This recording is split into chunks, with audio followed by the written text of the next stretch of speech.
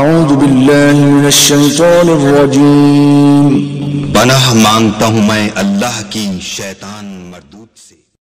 बसमीम अल्लाम वरहमतुल्लाहि वबरकातुहू। शब कदर लैलतुल की रात यानी कि सताईस रमज़ान मुबारक की रात ये नफल ज़रूर पढ़ें।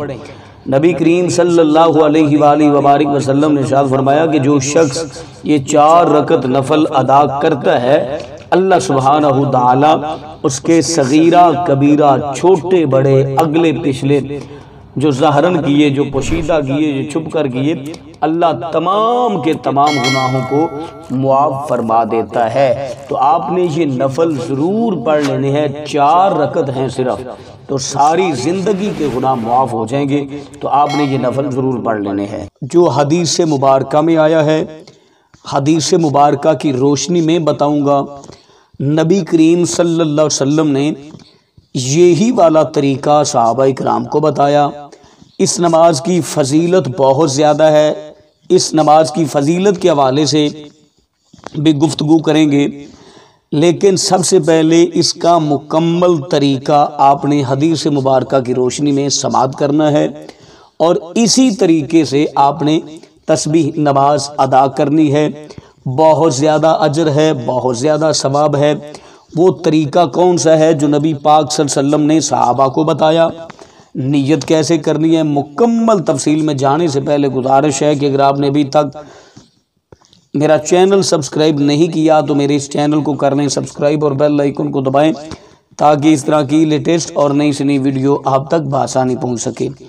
सबसे पहले आपने नीयत करनी है। नीयत की मैंने चार रकत नमाज़, नफल, सलात तस्बी इबादत अल्लाह ताला की, बंदगी खुदा की, मुँह मेरा तरफ़ खाना काबा शरीफ।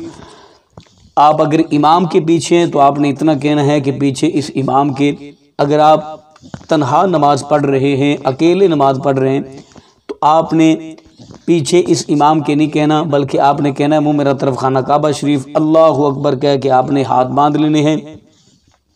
सबसे पहले आपने सना पढ़नी है, नमाज़ वाली ताउज़ और तस्मिया पढ़ने के बाद पंद्रह मरतबा, तीसरा कलमा, यानी सुबहान अल्लाह वला वल्लाहु अकबर पढ़ना है।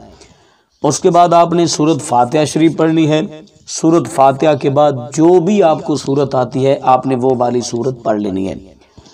सूरत फातिहा और सूरत पढ़ने के बाद आपने दस मरतबा फिर क़याम की हालत में, क़याम की हालत में दस मरतबा तीसरा कलमा पढ़ना है, यानी सुबहान अल्लाह वलहमदिल्लाहि वला अकबर। उसके बाद आपने रुकू में चले जाना है। रुकू की तस्वीर यानी सुबहान रब्बी आज़ीम, सुबहान रब्बी आज़ीम, सुबहान रब्बी आज़ीम। तीन मरतबा या तीन से जायद जितनी मरतबा पढ़ना चाहते हैं, पढ़ने के बाद आपने दस मरतबा रुकू की हालत में दस मरतबा रुकू की हालत में आपने तीसरा कलमा पढ़ना है, यानी सुबहान अल्लाह वलहमदिल्लाहि वला अकबर। दस मरतबा ये कलिमा पढ़ने के बाद आपने फिर खड़े हो जाना है। सजदे में जाने से पहले आपने फिर दस मरतबा। तीसरा कलमा पढ़ना है सुबहान अल्लाह वलहमदिल्लाहि वला अकबर। उसके बाद आपने सजदे में चले जाना है।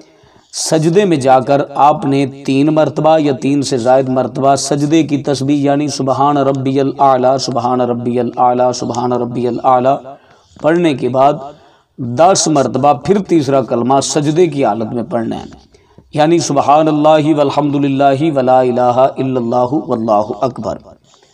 उसके बाद आपने सजदा से सर उठाकर बैठ जाना है। दोनों सजदों के दरमियान बैठकर आपने दस मरतबा, फिर तीसरा कलमा, यानी सुबहान अल्लाह वलहमदिल्लाहि वला वल्लाहु अकबर पढ़ लेना है।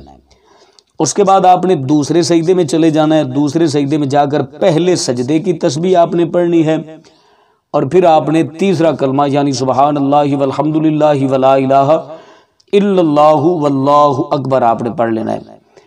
अब आपकी एक रकत मुकम्मल होगी। एक रकत में आपने पिचहत्तर मरतबा, सेवेंटी फाइव मरतबा तीसरा कलमा पढ़ना है।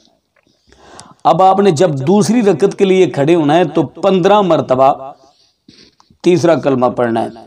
और आसान कर दूँ कि आपने हर रकत के शुरू में पंद्रह मरतबा तीसरा कलमा पढ़ना है। बाकी हर मकाम पर आपने दस दस मरतबा तीसरा कलमा पढ़ लेना है। टोटल आपने इन चार रक्तों में तीन सौ मरतबा तीसरा कलमा पढ़ना है।